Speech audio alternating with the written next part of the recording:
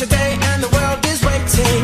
Move along to the song, singing in your soul. Feel the beat, grab your hands, let it take control. All you need, all you want, are you ready to find your way?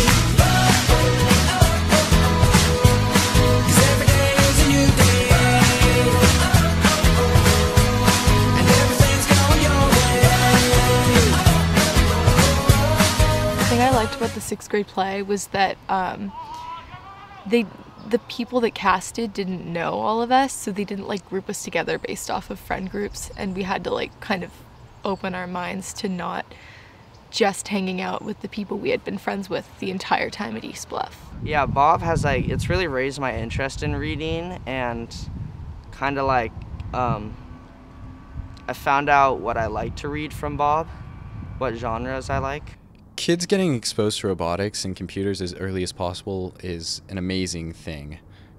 Robotics um, teaches just hands on tech skills and how to figure out problems.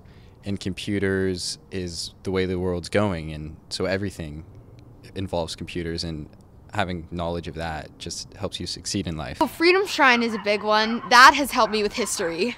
Freedom Shrine, I can still remember I can still remember um, like important questions because we are doing American history in eighth grade, so that's really important. I like Declaration, Constitution, Monroe Doctrine, all these documents, I can say, oh, I remember that from Eastbluff.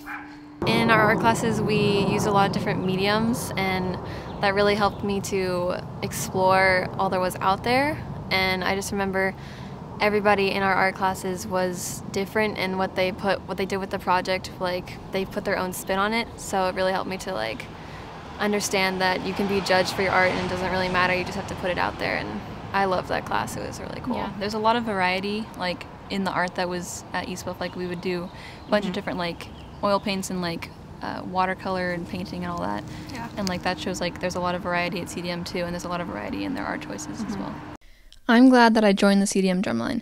It has given me many new experiences, friends, memories, lessons, and challenges that have become so valuable and unforgettable.